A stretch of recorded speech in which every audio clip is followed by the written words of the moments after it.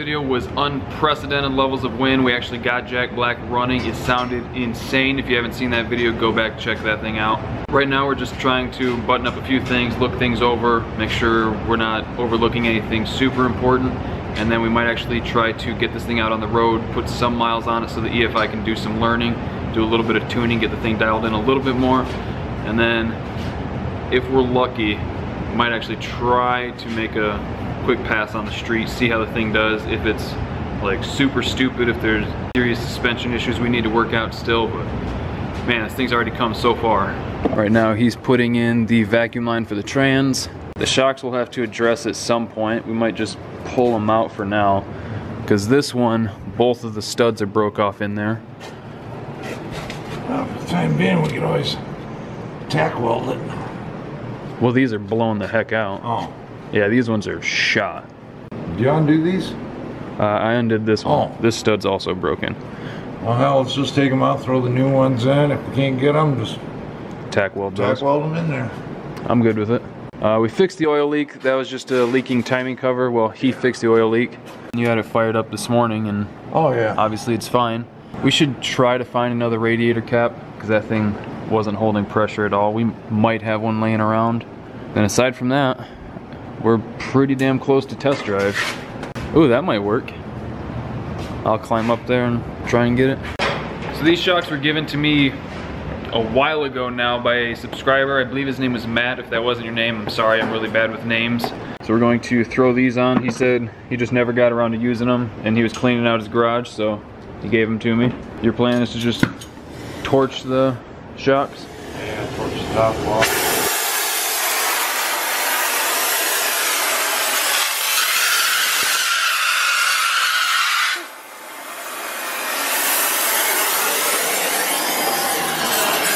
Look at how burnt wires in the meantime.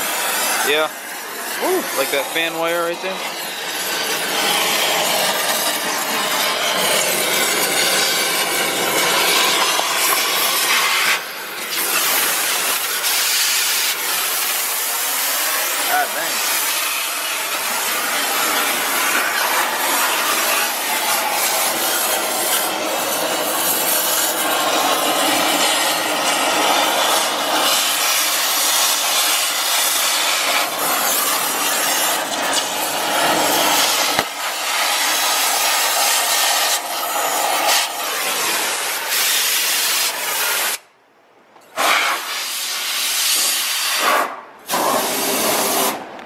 Change your name from Captain Inferno to Sergeant Killwires.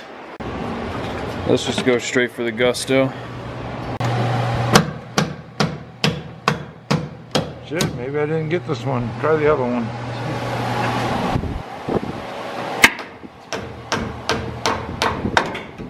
Oh, that was good. Sorry. Alright. Yeah, this one needs it again. Funny thing is, they probably would have unbolted. Didn't even bother trying. I'll help. I think it just popped. Oh yeah, she's out. She's a goner. And I'm pretty sure I mentioned this in the last video, but we had to rewire the fuel pump using, um, well, so we had one other issue. Uh, we had to rewire the fuel pump because for whatever reason, the keyed source that we had working for the fuel pump before, it wasn't working anymore, so we used the supplied uh, 12 volt fuel pump wire from the EFI, and it was working great. And then uh, at the end of the video, we just shut everything off, turned off all the lights, left, everything was perfect. Came back the next morning, no fuel pressure. Fuel pump wasn't kicking on, no 12 volt coming from it. We checked the keyed ignition source, that was fine. Everything was working as should. Power was going into this relay, but for whatever reason, it would not come out. And we tried another relay. I had those backwards. This is the stock one. And uh, for whatever reason, that just wasn't working. So right now we got it wired direct, just so it works. Not sure what's going on with those relays. Yeah, what he said. So, where'd I put that other shock? Right here. We're gonna throw these bad Johnnies in. Actually, they're classic Johnnies. So I wonder if it has a date on this box. That'd be kind of neat.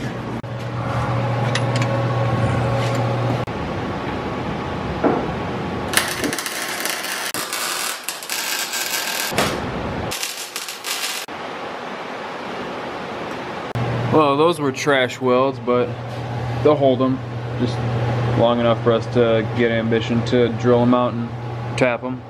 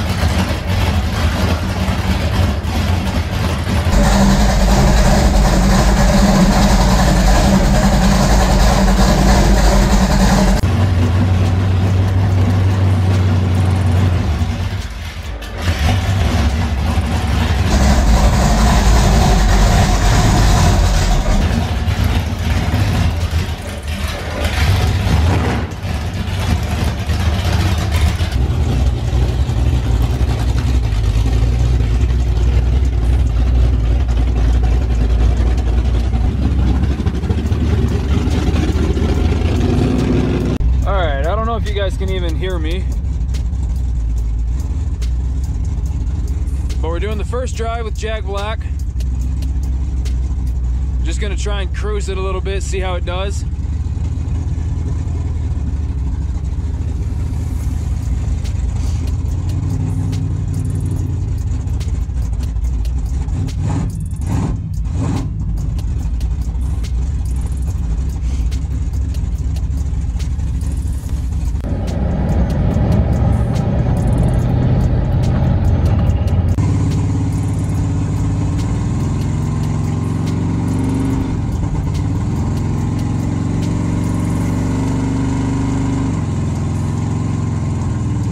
Speedometer's not working, that's weird. Don't know why that is.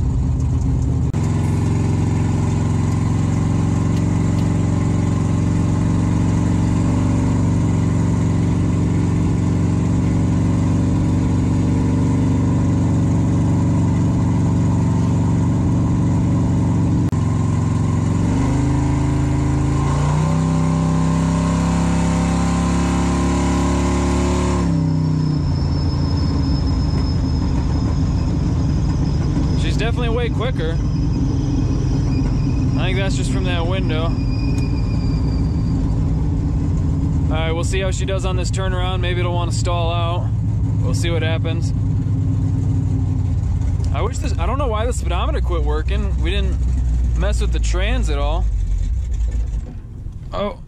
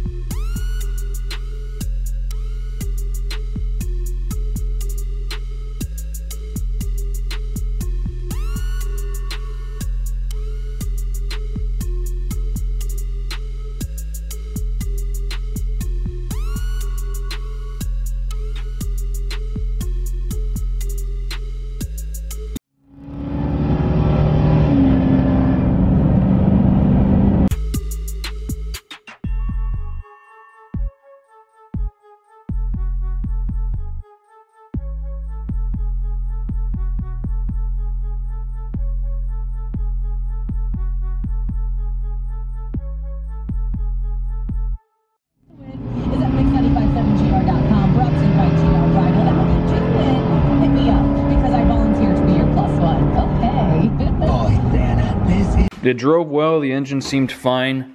There might be a real slight miss, but that could just be the uh, the open headers uh, making things feel kind of weird. Like 23 degrees out right now, and these cold ass tires, first gear was useless.